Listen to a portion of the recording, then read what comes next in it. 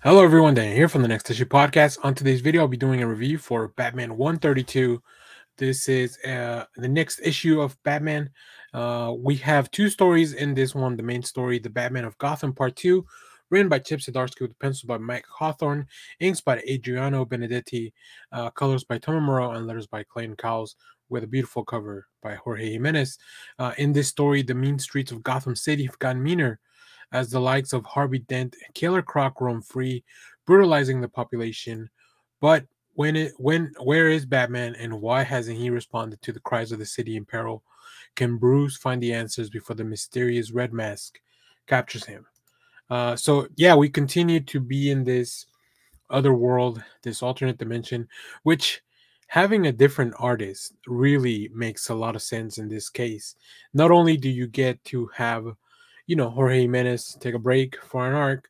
Uh, but it also looks different. It feels different. Like the whole the whole uh, aesthetic and and feel uh, and tone of the book is different. The the, the Gotham. Uh, so let's take a look at some preview art. We'll pull up uh, and we'll talk some more about this issue.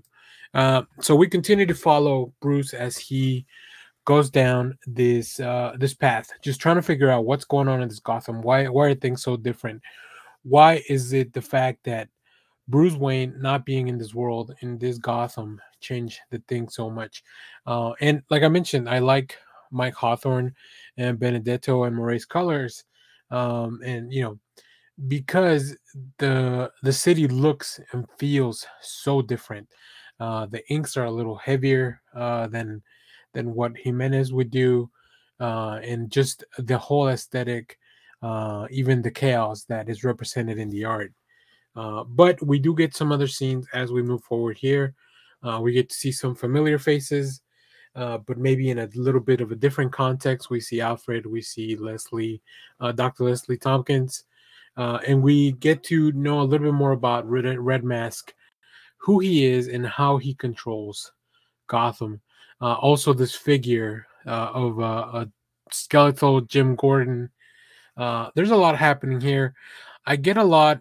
I'm really enjoying this story because it gives me a little bit of um, uh, almost Judge Dredd type of vibes. Like just the whole.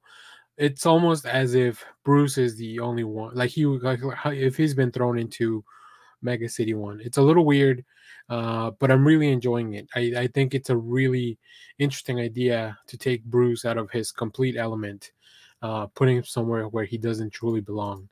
Uh, and as well in the backup story, we have the Toy Box Part 2, uh, also written by Zdarsky with art by Miguel Mendoca, uh, uh, colors by Roman Stevens. And um, in this backup story, Tim Drake continues to hunt for Batman. Will Metropolis' newest Superman, Jon Kent, be able to help the Boy Wonder with this multiversal mystery, or will they both run afoul of an overpowered Toyman? So, once again, there's uh, a little bit of hints uh, if you're a fan of Justice League Animated, you can kind of maybe figure out. Uh, I don't know if that's exactly what's going on, but it's something very similar to to an episode of that. I'll leave you. I'll leave it up to you guys to decide, and we can talk about it once the arc is finished. But yeah, um, Zdarsky, Zdarsky and the team are just doing fun things uh, with this uh, story. It's not as fast paced as uh, Failsafe. This one has a lot like I said, the tone's very different. The pace is very different. This is a lot more of a slow burn, I feel. Whereas Failsafe was just like go, go, fight, fight. Uh, which once again, the artist change makes sense. The the tone make the change uh, makes sense. So quite quite uh, enjoyable. This um, you also notice that the covers look a little bit different. They've added like a, a, rating. The rating looks a little bit different in some of the covers, which is interesting. I've been reading comics for a long time, and I don't know why DC would make this change now. Uh, but we'll see. We'll see where all that stuff lands. Uh, there'll be some variant covers at the end of the video.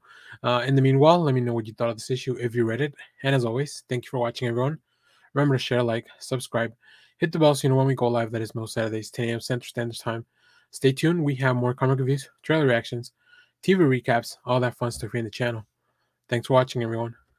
Bye bye.